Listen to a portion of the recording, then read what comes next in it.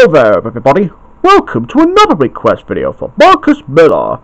Well, it may be a bit dark outside. What better way to stay at home is for I get to watch Toy Story 3 on DVD. Ah, uh, don't watch it. Uh, was that you saying it? Yes, it was me, Herbert. Oh, I see. So what does it contain? Well, it contains the Disney DVD logo. Oh, I see. Hmm. Alright, well, could you put it in for me? Oh, yeah, with pleasure, Herbert. Well, see you in a minute, viewers, whilst I sort this out. Alright, Herbert, right, we're on to the DVD menu to start with. Okay. Ooh. Can you press play now? Yeah, with pleasure. Ooh! That's scary! That Mr. Potato Head getting too close to the TV screen. Ah! Oh no! Ah! The DVD did Ah! Uh-oh! Ah! Me? And I did told you so, Noba.